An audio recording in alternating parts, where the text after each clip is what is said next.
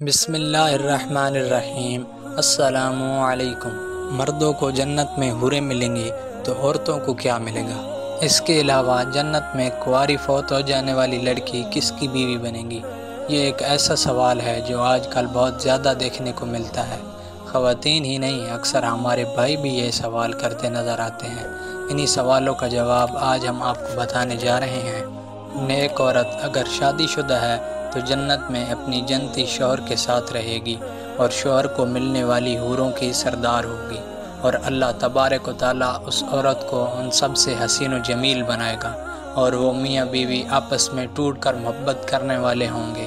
और अगर दुनिया में औरत के मतद शोहर हों, यानी औरत ने अपने शोहर के इंतकाल या उसके तलाक देने के बाद दूसरी शादी कर ली हो, यानी उस औरत ने दो या उससे जायद शादियाँ की हों तो वो जन्नत में अपने किस शोहर के साथ रहेगी? इस बारे में मुख्तलिफ़ रवायात और अकवाल मौजूद हैं कि ऐसी औरत को इख्तियार दिया जाएगा कि जिसके साथ उसकी ज़्यादा मुवाफ़त हो, उसको इख्तियार कर ले। या वो औरत आखिरी शोहर के साथ रहेगी।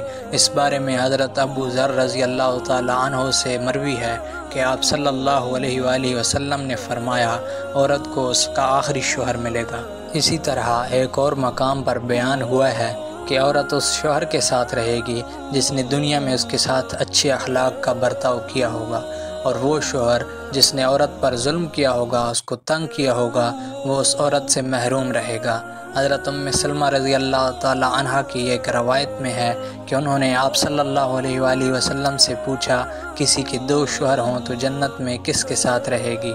तो आप सल्लल्लाहु अलैहि वसल्लम ने फरमाया, उसे इख्तियार दिया जाएगा कि वो किसी भी शोहर के साथ रह सकती है। और फरमाया, जिसने दुनिया में उसके साथ अच्छे अखलाक का बर्ताव किया हो, और वही उसका जन्नत में शोहर होगा। उम सलमा, अच्छे अखलाक वाली दुनिया और आखरत की भलाई लेगी।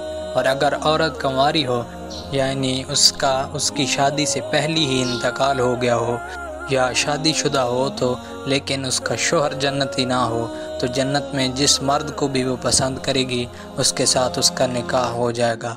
और अगर मौजूद लोगों में किसी को भी पसंद ना करे तो अल्लाह तबारक ताली उसके लिए एक मर्द जन्नती पैदा फरमाएँगे।